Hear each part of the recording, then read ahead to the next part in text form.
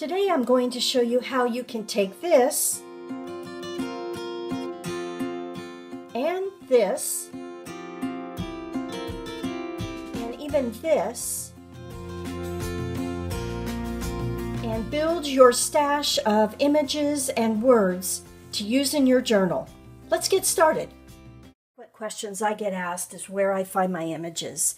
Now, I've done a couple videos where I've shown gone through magazines and shown you how I pick them out. But I thought it might be fun today to take three random magazines, real simple, Marie Claire and Oprah, and go through them and show you where I find my images.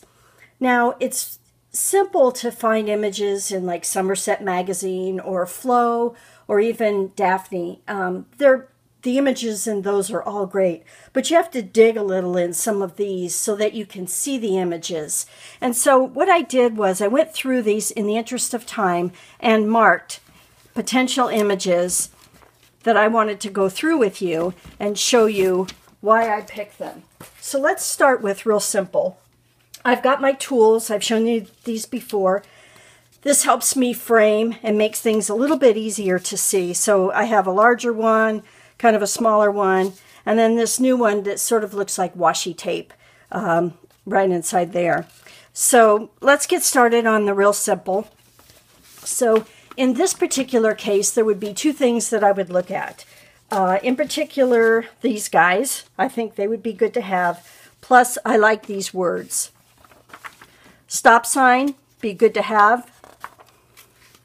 I like this woman. I think she'd be great to uh, cut out into something.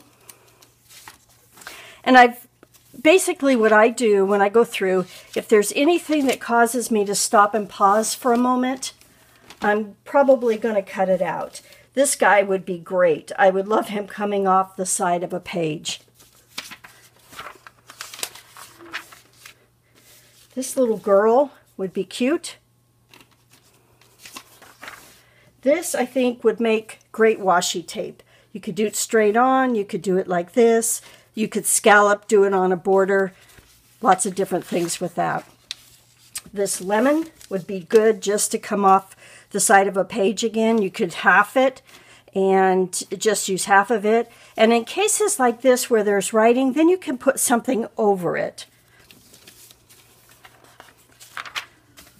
I would use these words, especially check me out. I like that.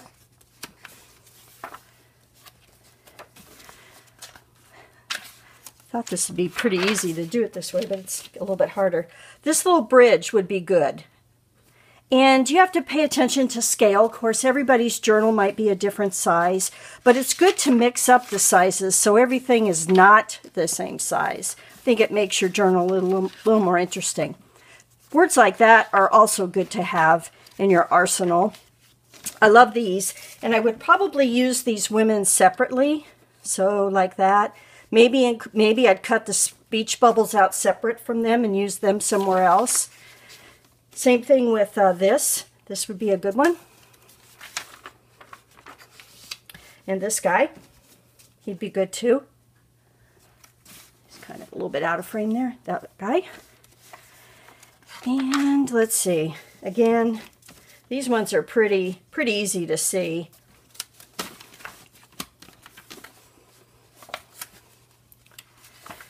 This one I think is interesting. Now you'd have to have a fairly large journal, but I love the idea of putting something in there. It could be a picture, it could be journaling, it could be several pictures.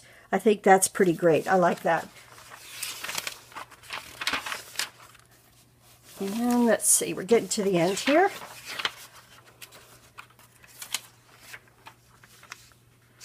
The word awesome, I would cut that out. And this is another one I thought was interesting. Now, I probably wouldn't use it uh, just like this, but excuse me, if you did, you know, you could just cut it off here and put things in those skillets. I think that might be interesting. Okay, on Marie Claire, I like these. I think these are really good to put in your journal or have um, to use like half circles. On the edge of your journal. You could even use them, you know, to cut out things that you wanted where you wanted a pop of pink. I think that would look good. This would make great washi tape. If you needed some some color, see just like like that. Wouldn't that be cool? Can you see that? Wouldn't that be cool? I think it would look really good. You could even, well, just, you could use that short, short pieces that way as well. Definitely her glasses. You know I love to put glasses on things. And I think that would look really, really cool on something. This word, love, I would cut that out. More glasses. It's good to have a bunch of different sizes of glasses because you never know what you're going to need size-wise for, for those. Um, this one is mostly words. I like the 101 Ideas and the Rebel and even Yell. I might just keep all of those to use. Um, this, and actually I even have that in my journal. I'll insert the picture here.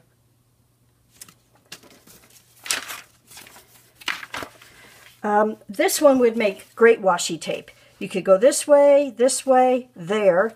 You could even go this way and get an interesting piece of washi looking tape. And again, there's a little 101 ideas that might be good.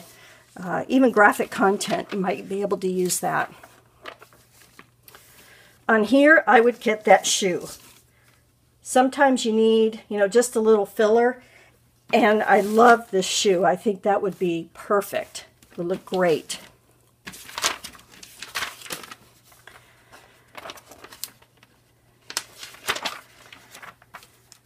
Okay.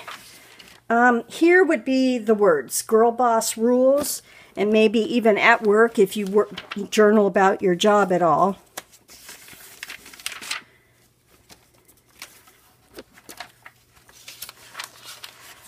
Okay, I love this bus, this VW bus. And what I probably do would cut it would be to cut it in half, something like that, and use that in my journal. Probably wouldn't use the whole thing. And this would be great washi tape. Uh, probably the words here and the letters, if you keep uh, letters. And on here, I think it was the, the image, or excuse me, the, the words changed everything and her idea. I like those. I'm always on the, on the hunt for good phrases. Uh, what I love about me would be a good phrase. Some of these magazines are really good about phrases. This one has so much interesting color. I just, I love it. I There's several pages. I'm not sure exactly how I would use them, but I would definitely cut them out and hang on to them and use them somewhere. Look at that color. It would be fantastic. You could do really cool stuff with that. And the last one would be these. Again, I think these would be great to use in half circles on your page. You could, you know, just put them on the edge like that. So there's that one. And the final one is Oprah which again, a lot of phrases in, in the Oprah magazine that you could keep. I like all of these pictures, and they're good size. The size is kind of perfect for a journal, so you could use those.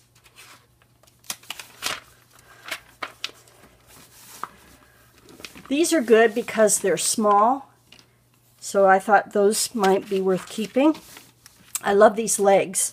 Um, I think they would be good coming off the bottom of a page, or you could turn them around and have them coming from the top, to be like standing. And then live your best life, of course, would probably be a good one to always have in your arsenal. I think I'm getting a lot of glare here. Um, this bowl would be good. And that image right there.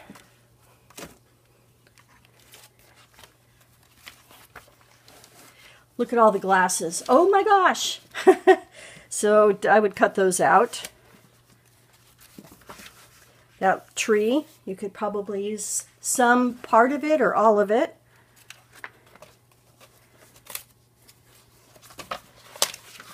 Let's see what else we got here. Uh, this is a good image. Is probably a little bit cut. That'll help you a little more. So that would be a good image. And uh, feeling good maybe would be something good to keep as well. Watch out. There's, you know, a lot of words in here that are always good.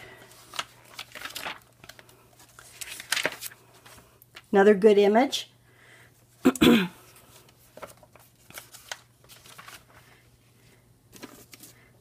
That'd be perfect.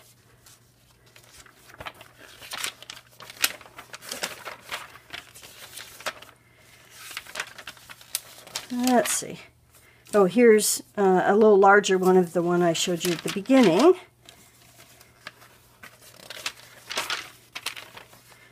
This, this one definitely has some possibilities, some words. Um, again, there are images on here that are good. Love these. Those would be excellent. These, great.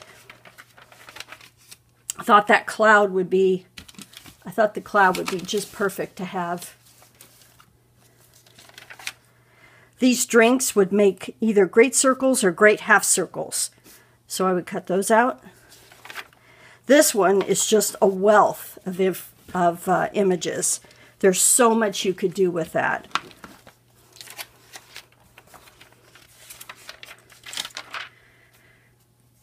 Where are you going? Let's eat. And again, I like these half oranges and even this orange would be good. And the final one here would be this rose. I would cut that out. These little guys even might be good. So I hope that was helpful. Um, a couple things to think about when you do this is go through your magazines more than once. Don't just go through it one time and then stop. Uh, go through it, put it away for a couple days, a week, a month, and then go back through it again, and you may find more images that you can use.